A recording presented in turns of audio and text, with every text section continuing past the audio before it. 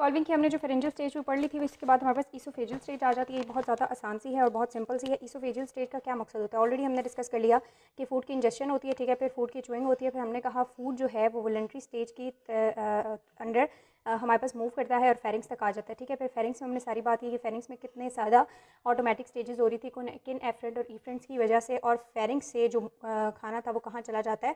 Pharynx में आता है और फिर फेरिंग्स से नीचे चला गया ईसोफेगस में, ठीक है? अब ये फॉर एग्ज़ाम्पल ईसोफेगस है और यहाँ पर हमारे पास स्टमक है तो ईसोफेजियल स्टेट का काम इतना ही है कि खाने को ईसोफेगस से गुजार के कहाँ पर ले आया जाए? स्टमक की तरफ़, ठीक है? तो जो मेजर चीज़ आपने याद रखनी है, वो ये याद रखनी है कि ईसोफेजियल स्टेज में दो तरह की पेरिस्टाल्टिक मूवमेंट्स हैं, क्योंकि इसका काम है खाने को आगे की तरफ़ पुश करना, और वो पेरिस्टाल्टिक मूवमेंट्स की वजह से होगा। जो दो पेरिस्टाल्टिक मूवमेंट्स हैं, उनमें एक आ जाती है हमारे पास प्राइमरी पेरिस्टाल्टिक मूवमेंट दूसरी आ जाती है सेकेंडरी पेरिस्टाल्टिक मूवमेंट इनका डिफरेंस आपसे पूछा जाता है कि क्या डिफरेंस है। अगर आपको याद हो तो हमने बात की थी कि जैसे ही फ़ूड जो है पोस्टीरियर फेरिंग्स में आता है तो फेरिंग्स का जो अपर पोर्शन है, हमने कहा था वो कॉन्ट्रेक्शन स्टार्ट कर देता है, और उन कॉन्ट्रेक्शन को हम पेरिस्टाल्टिक कॉन्ट्रेक्शन कहते हैं।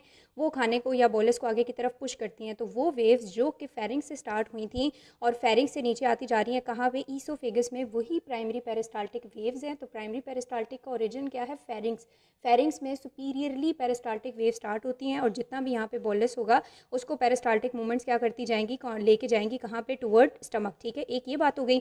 याद आपने यही रखना है कि पेरिस्टाल्टिक हमने ऑलरेडी डिस्कस किया हुआ है कि किस तरह से पेरिस्टाल्टिक वेव जनरेट होती है, जहाँ पे भी खाना होता है, उसके थोड़ा सा बिहाइंड एक कंस्ट्रक्शन जनरेट होती है और वो कंस्ट्रक्शन उसको पुल करती है और ये खाना जो है वो आगे चला जाता है, ठीक है?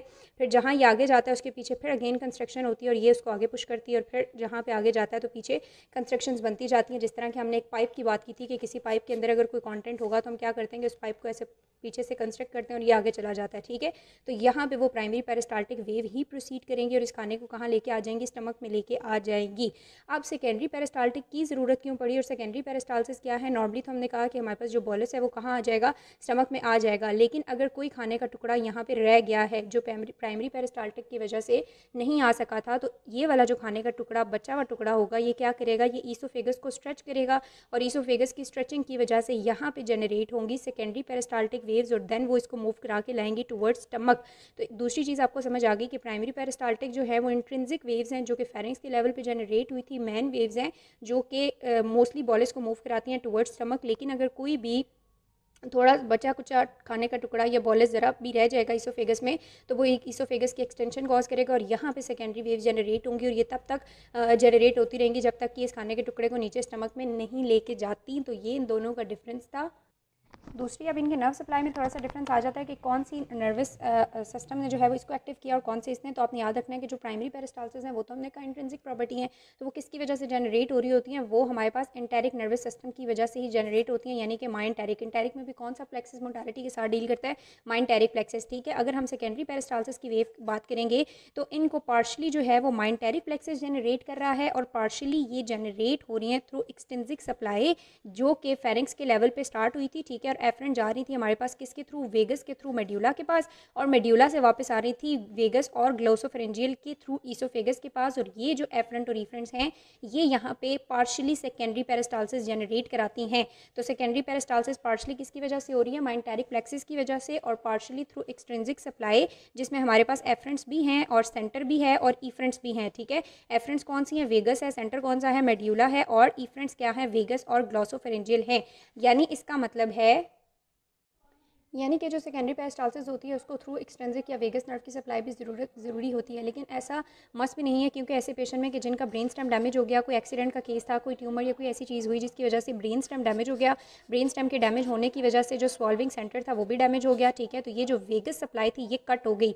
तो क्या अभी उस पेशेंट के अंदर सेकेंडरी वेव जनरेट हो सकती हैं? सेकेंडरी पेरास्टाल्टिक जनरेट हो सकती है? तो येस हो सकती है। कुछ डेज़ के बाद जो उसकी गट वॉल का माइंटेरिक प्लेक्सेस है, वो सेकेंडरी पेरास्टाल्टिक जनरेट कर सकता है। अगर किसी भी, या ट्यूब या किसी भी तरह खाना उसके ईसोफेगस में पहुँचाया जाएगा तो उस खाने वो खाना क्या करेगा? इसोफेगस के डिस्टेंशन करेगा सेकेंडरी पेरास्टाल्टिक जनरेट होंगी और इस खाने को लेके जाएँगे टुवर्ड स्टमक तो ये चीज़ आपने याद रखनी है कि सेकेंडरी पैरास्टाल्टिक को कौन सप्लाई करता है? माइंटेरिक प्लेक्सिस भी पार्शली और पार्शली वेगस भी, लेकिन अगर वेगस कट भी हो जाती है, जैसे कुछ लोगों के दिमाग में चोट आई है या कुछ भी हो गया, उनका वो रिफ्लेक्स जो है वो नहीं आ रहा वेगस सप्लाई नहीं आ रही तो अभी भी स्टिल माइंटेरिक प्लेक्सिस की वजह से सेकेंडरी पेरास्टाल्टिक वेव जनरेट हो सकती है और खाना स्टमक में जा सकता है।